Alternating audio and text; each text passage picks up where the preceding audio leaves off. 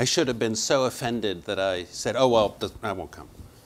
But uh, I will use my time uh, to take you through, first of all, very big X, which is inspired by Mary Lou's presentation yesterday, which is the next slide. Um, that's the really big X, and it's the opposite. Uh, this is from the year uh, 1910. It was a postcard made in France, and the artist was uh, showing the fact that you, their image in 2000 would be wearing something, and it's got to be possible to put on a helmet and put a book into your head without you having to read it. And if that's true, that would change the world in many ways.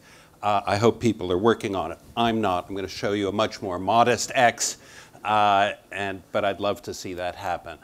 Um, my X is, is basically something I've been doing for a long time. I'm going to talk very little bit very little about one laptop per child, but much more about the general problem and then a very specific uh, experiment. I think primary education is the world's biggest problem. Now, yes, there are others, energies, but primary education uh, is important not just because there are 1.5 billion children and 100 million of them don't go to first grade, but primary education is different than middle school, high school, and university. It's not what you learn. It's not the subjects and the facts you learn. What you have to learn in primary education is learning itself. And then as a th sub-theme, which is perhaps maybe a super theme, is you've got to become passionate about it. So learning to learn and learning to love to learn is, is really important. And what do you do when you have 100 million uh, who don't go to school? Then the solution is, what can they learn by themselves? And the reason I look at that and I think it's, uh, it, it is a moonshot is because you don't have to learn everything by yourself. And if you do go to school, it still applies to you. But for those 100 million, that's all you have. There won't be teachers for a while. Uh, there are no literate people in the village. And the kids aren't going, aren't not going to school because they're working in the fields. There just isn't one. So that's what we, we're, we're looking at. Uh, the laptop, just by way of background, uh, has about 2.5 million in the field. Over the past five years, we've spent, believe it or not, $1 billion. So it's a huge project, um, and there's a lot of results from it. Uh, in uh, Peru, this actually happens to be Peru, um, kids are teaching their parents to read and write uh, we don't know the exact numbers, but it could be as high as 50%, which would mean that 500,000 kids, 6 to 12 years old, are teaching their parents how to read and write. I don't have a better story. That's as good as it gets. Um, and it's very, very different. This, I always put this slide up. It's one of my favorite. This man in, this, in India had never, ever seen a computer. He had always taught with the kids in straight lines. They were standing there petrified to answer uh, because, or sitting on these little mats because they didn't want to be wrong, and this is how he teaches today. So this is a slide just sent to me from uh, one of our teams that went into Ethiopia recently and I just put a caption at the bottom in case you can't read the handwriting. Um, and I thought that was quite uh, extraordinary that the people of this village uh, were smart enough to realize that education is cheaper than ignorance. Um, here's what learning by yourself for us needs. And so we are framing this in terms of technologies. I have four of them that I think are important. Uh, the fourth is perhaps the most important. The $10 tablet, uh, Hermann Hauser has shown you some of his stuff. Uh, I have some printed electronics. We saw some yesterday for conformable machines. A $10 tablet is really doable. And if somebody wanted to do the moonshot for the $10 tablet and do one tablet per child, and I'll pass around actually for those of you who want to entertain yourself playing with things while I talk. Um, one is a model, I'll send it this way, and one's actually a working machine. These are the, you don't count your family, so we'll pass. And you can pass the cover separately. Um, and I just pass that around because we're doing now and, and is, is, it's gotten a lot of press, but what does it need? What are the four things you need to do? Um, printed, I've mentioned. Mary Lou's made a fantastic dual mode display that is really high contrast when it reflects and low power when it transmits. The fact that this doesn't exist is inexcusable. Not because Mary Lou has it, but the world really needs it. Your, your iPad should be a Kindle when you want it to be, and your Kindle should be an iPad when you want it to be, at least in terms of the display. 10 meter drop tests we do easily now, and waterproof is also the one being passed around is waterproof. You can drop it in the water and use it underwater.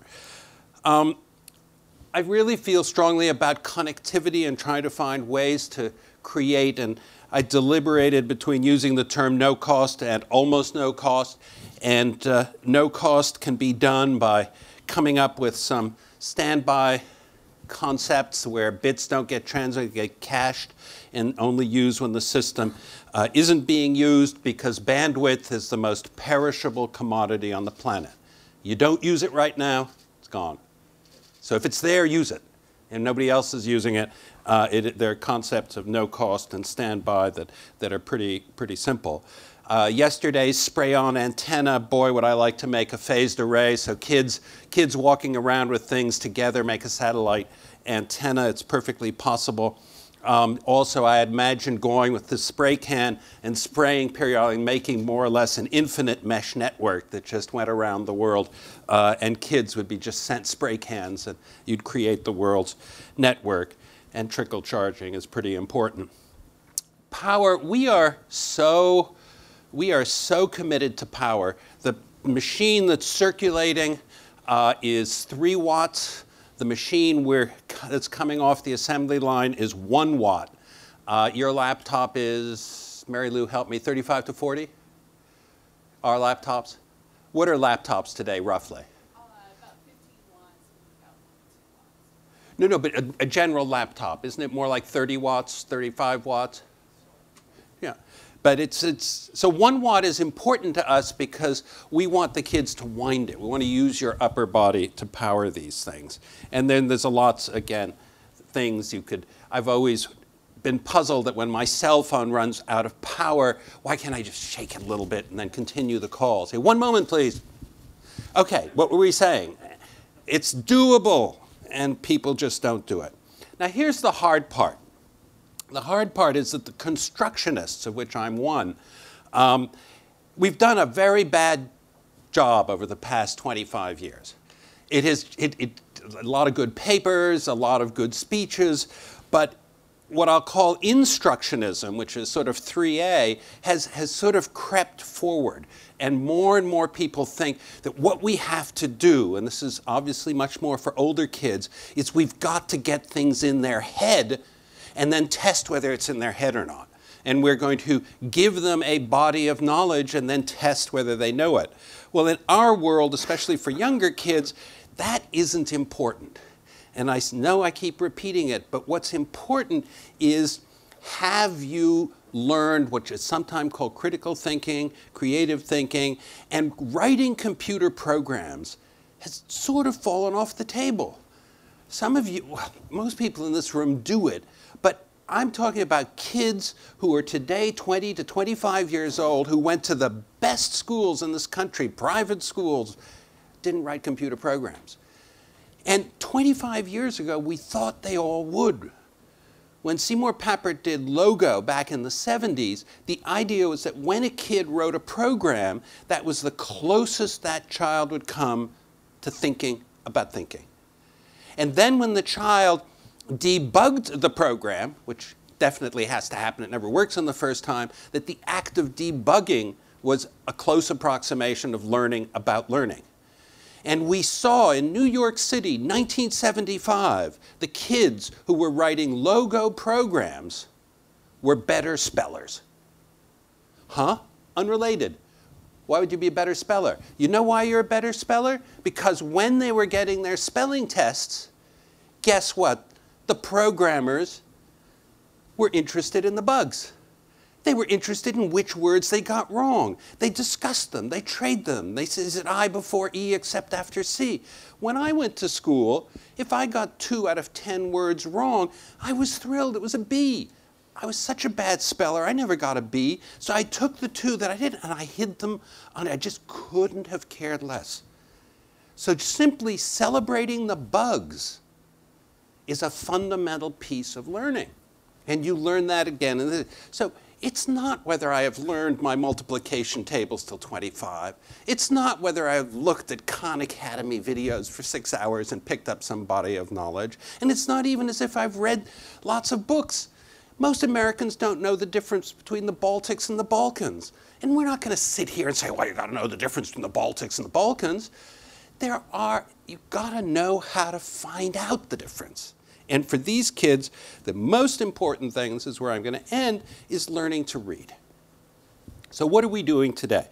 We're doing a very small experiment. It's funded out of my pocket. That's how small it is.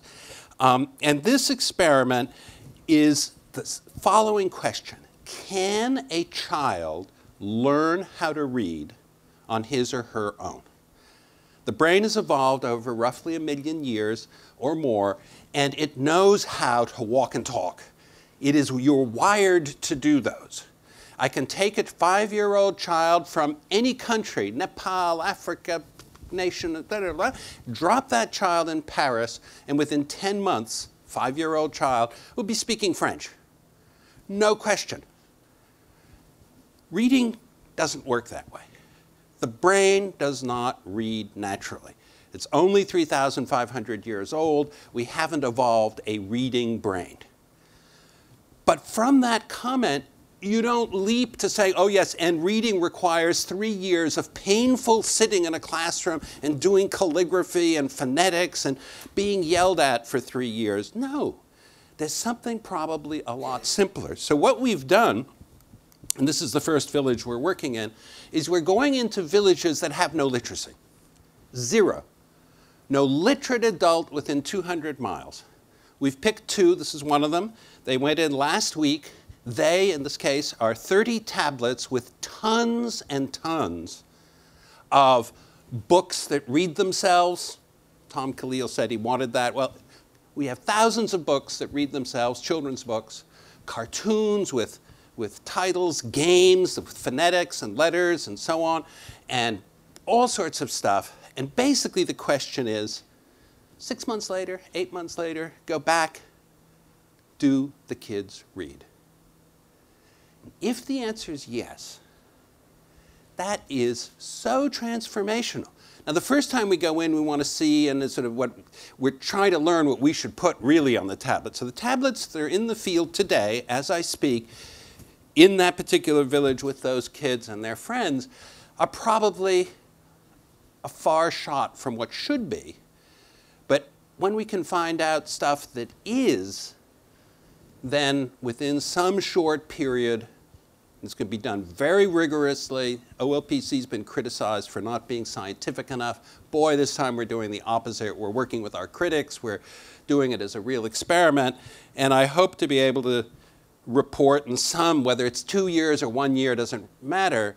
But if we can prove that children can learn how to read on their own, that's going to help the 100 million kids who don't go to school. So that's my mini moonshot. In the other moonshot, absent the helmet we wear to download all the books on the planet into our head. Thank you very much.